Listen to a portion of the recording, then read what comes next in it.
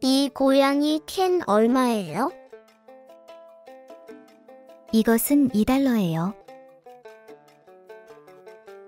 더 싸게 팔 수 있을까요? 부탁해요. 좋아요. 50% 할인해 드릴게요.